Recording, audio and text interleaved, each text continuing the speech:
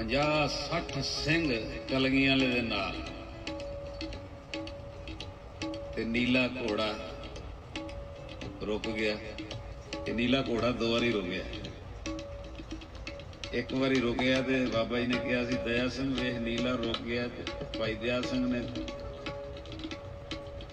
ਉਹ ਕਦਮ ਅੱਗੇ ਹੋਏ ਤੇ ਮੁਖ ਤੇ ਕੱਪੜਾ ਲੈ ਲਿਆ। ਮਹਾਰਾਜ ਤੰਬਾਕੂ ਦੇ ਖੇਤ ਨੇ ਅੱਗੇ। ਮਹਾਰਾਜ ਨੇ ਕਿਹਾ ਵੀ ਗੁਰਸਿੱਖਾਂ ਵਿੱਚ ਰਹਿ ਕੇ ਸਾਡੇ ਨੀਲੇ ਨੂੰ ਵੀ ਗਿਆਨ ਹੋ ਗਿਆ। ਜੇ ਸਾਨੂੰ ਅੱਜ ਤੰਬਾਕੂ ਦੇ ਖੇਤਾਂ 'ਚ ਲੈ ਜਾਂਦਾ ਤੇ ਇਹਦੀ ਸੇਵਾ ਨਿਫਲ ਹੋ ਜਾਣੀ ਇੱਕ ਇਦੋਂ ਰੁਕਿਆ, ਇੱਕ ਵਾਰੀ ਫੇਰ ਰੁਕਿਆ, ਦੋ ਵਾਰੀ ਰੁਕਿਆ ਨਹੀਂ। ਤਾਂ ਉਦੋਂ ਹੀ ਸਾਨੂੰ ਆਚਰਣ ਸਿਖਾਉਣਾ ਸੀ। ਮਹਾਰਾਜ ਕਹਿੰਦੇ, ਭਾਈ ਦਿਆ ਸਿੰਘ ਨੀਲਾ ਰੁਕ ਗਿਆ ਭਾਈ ਦਇਆ ਸਿੰਘ ਨੇ ਸੋਚਿਆ ਵੀ ਫਿਰ ਖੇਤ ਹੋਣੇ ਆ। ਮੈਂ ਜੀ ਹੁਣੇ ਵੇਖਦਾ। ਤੇ ਅੱਗੇ ਫੇਰ ਮੈਂ ਖੇਤ ਹੋਣ ਵਿੱਚ ਵਕਫਾ ਹੈ ਸਾਲ 2 ਸਾਲ ਦਾ ਰੁਕਣ ਵਿੱਚ। ਪਰ ਜੇ ਇਤਨੇ ਕੋ ਖੇਤ ਨਾ ਹੋਣ, ਜਦੋਂ ਵੇਖਣ ਲੱਗਾ ਮਹਾਰਾਜ ਕਹਿੰਦੇ ਨਹੀਂ ਦਇਆ ਸਿੰਘ, ਅੱਜ ਨੀਲਾ ਇਸ ਕਰਕੇ ਨਹੀਂ ਰੁਕਿਆ ਕਿ ਅੱਗੇ ਤੰਬਾਕੂ ਦੇ ਖੇਤ ਨੇ। ਤੇ ਭਾਈ ਦਇਆ ਸਿੰਘ ਕਹਿੰਦੇ, ਮਹਾਰਾਜ, ਫਿਰ ਅੱਜ ਕਿਉਂ ਰੁਕ ਗਿਆ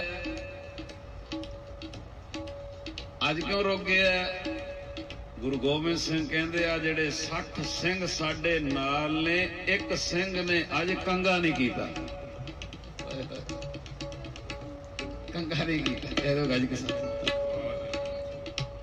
ਇਹਦਾ ਮਤਲਬ ਸਾਡਾ ਪਿਓ ਚਾਹੁੰਦਾ ਹੈ ਕੇਸਾਂ ਦੀ ਸਫ਼ਾਈ ਰਹੇ। ਕੰਗਾ ਕੀਤਾ ਜਾਵੇ ਦੋਨੋਂ ਵੇਲੇ। ਅੱਜ ਕੱਲ ਕਿੰਨਾ ਸਿਖਾਉਂਦੇ ਆ ਜੀ। ਐਕੋ ਪ੍ਰੈਸ਼ਰ ਆ ਜੀ। ਸਾਡੇ ਬਾਬੇ ਨੇ ਜਿਹੜਾ ਕੰਗਾ ਬਖਸ਼ਿਆ, ਇਹ ਐਕੋ ਪ੍ਰੈਸ਼ਰ ਹੀ।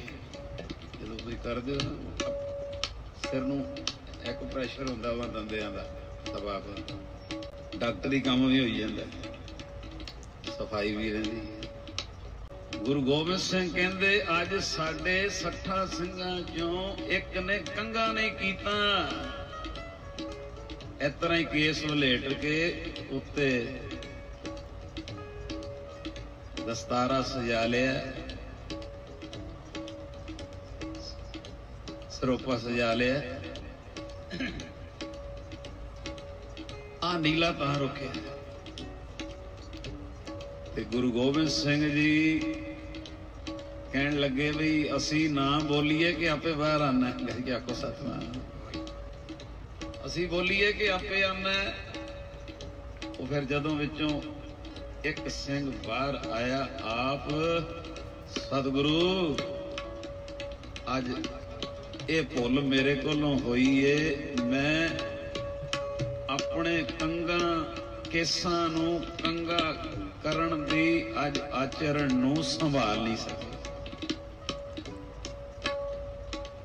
ਆਲਸ ਕਰ ਗਿਆ ਚਲ ਕੋਈ ਨਹੀਂ ਹੈ ਜੀ ਇਹ ਗੱਲਾਂ ਨਿੱਕੀਆਂ ਨਿੱਕੀਆਂ